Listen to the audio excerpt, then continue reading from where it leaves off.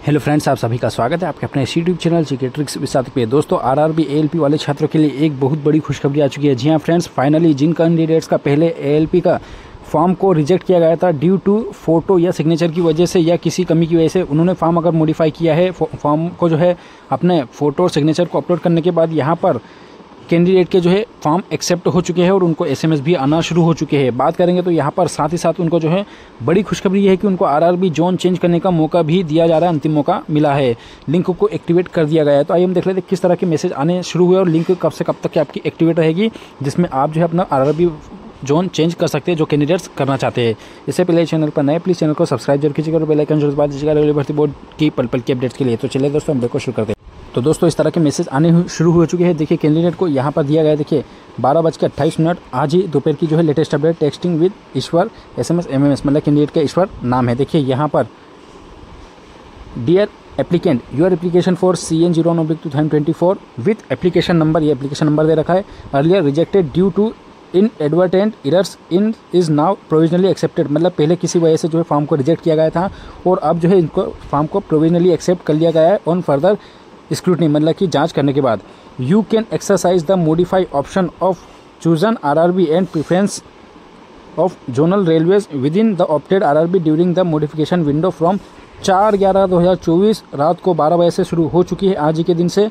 तो ये कल शाम पाँच जो है, कल पाँच तारीख पाँच ग्यारह दो हज़ार चौबीस रात को ग्यारह बजकर उनसाठ मिनट तक लिंक को एक्टिवेट रखा जाएगा। मतलब यहाँ पर दो दिन के लिए कैंडिडेट को जो है लिंक दी गई, जिसमें कोई कैंडिडेट जिनके पहले फॉर्म रिजेक्ट हुए थे, अब जो है एक्सेप्ट हुए, जिनको ये मैसेज आए हैं तो अपना फॉर्म मॉडिफाई कर सकते हैं। और जिन कैंडिडेट को अगर हो सकता है कि किसी के फॉर्म पहले रिजेक्ट थे, अभी एक्सेप्ट हो चुके और एसएमएस नहीं आए तो वो भी लॉगिन करके देख सकते हैं कि उनका फॉर्म एक्सेप्ट हुआ या फिर नहीं, और अगर एक्सेप्ट हो गया है तो वो अपना आरआरबी जोन अगर चेंज करना चाहते हैं तो कर सकते हैं। कल शाम जो है रात को ग्यारह बज के उनसाठ मिनट तक का टाइम है, पाँच नवंबर तक कैंडिडेट के पास। इसके बाद दे रखा है by logging in with your user credential at R R B apply dot G O V dot in. इस लिंक पर आपको जो है अपना फॉर्म मॉडिफाई करना होगा, अगर करना चाहते हैं तो। मतलब ये आर आर बी जोन जो चेंज करना चाहते हैं तो कर सकते हैं और अपना एप्लीकेशन स्टेटस इसी लिंक पर आपको देखना होगा। Failing which no further change chance will be मतलब कि पाँच तारीख के बाद किसी भी कैंडिडेट को कोई भी जो है कुछ भी चेंज करने का मौका नहीं दिया जाएगा, कोई भी चांस नहीं दिया जाएगा।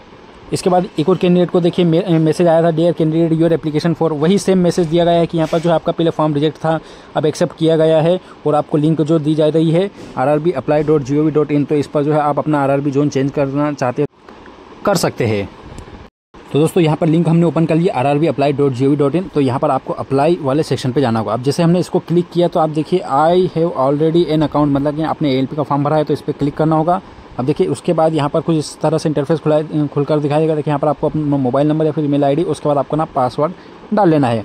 उसके बाद यहाँ पर अगर कैप्चा देता है तो ठीक है, या फिर अदरवाइज़ यहाँ पर आपको I am not a robot पर क्लिक करके आपको जो वेरीफाई कर लेना। उसके बाद लॉगिन कर लेना है। अगर यदि आप अपना पासवर्ड भूल गए तो यहाँ पर फॉरवर्ड पासवर्ड भी कर सकते हैं अपना मोबाइल नंबर ईमेल आईडी वगैरह डालने के बाद। तो इस तरह से ये देख सकते हैं। ये लिंक मैं आपको वीडियो के डिस्क्रिप्शन बॉक्स में दे दूँगा। वहाँ से आप डायरेक्ट इस लिंक पर आकर के अपना जो है एप्लीकेशन लॉगिन करके अपना स्टेटस देख सकते हैं। जिन फॉर्म जिन कैंडिडेट का फॉर्म पहले रिजेक्ट हुआ था और अभी एक्सेप्ट हुआ है। जिनको एसएमएस आया है, वो भी चेक कर ले और जिनको एसएमएस नहीं आ पाया है, वो भी चेक कर ले ताकि आपको जो है अपना स्टेटस पता चले कि आपका फॉर्म एक्सेप्ट हुआ या फिर फाइनली नहीं। तो चलिए दोस्तों, बड़ी ऑफिशियल अपडेट आप सभी के साथ मैंने शेयर कर दिया ऐसी लेटेस्ट अपडेट मानने के लिए हमारे चैनल को प्लीज़ सब्सक्राइब ज़रूर कीजिएगा। यदि आपकी कोई क्वारी हो तो हमें कमेंट सेक्शन में पूछ सकते हैं। फ़िलहाल हम इस वीडियो में रखेंगे। नेक्स्ट वीडियो में एक सभी साथ मिलेंगे। तब तक अपना ख्याल रखेंगे बाय फ्रेंड्स